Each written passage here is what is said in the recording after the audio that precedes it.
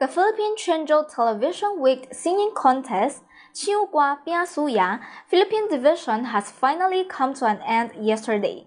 Three winners have been chosen, who will go to Quanzhou to compete in the final round.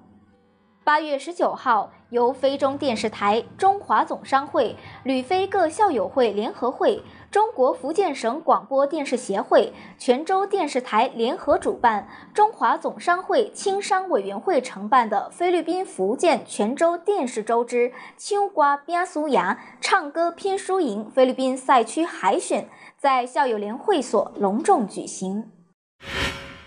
本次比赛于二零一七年十二月八日菲律宾中国福建泉州电视周期间正式启动，并在二零一八年二月二十五日举行第二次海选比赛。到此次已经是第九届泉州电视台闽南语歌曲秋瓜边素雅比赛。旅非各校会联合会主席孙明强、非中电视台副台长庄玲玲在赛事开始前，代表各主办方介绍比赛规模。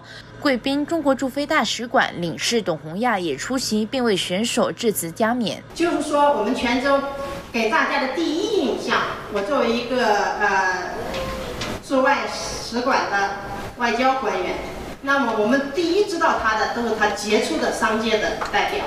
杰出的贡献，对主基地杰出的贡献。担任本次大赛评审的是来自菲律宾音乐界的大师级人物蔡天金老师、柯美智老师、柯美琪老师、孔国燕老师和郑香云老师。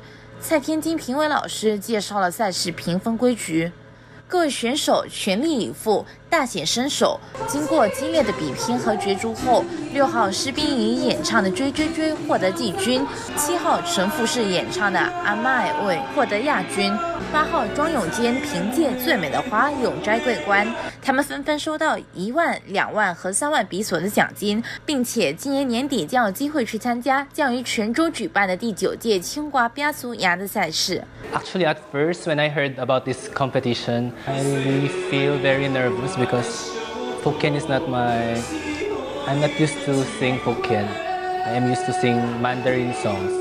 So I took voice lessons and I, I look for teachers who will further improve my diction in folk. Since last year, I, I am already preparing for. I will really practice more.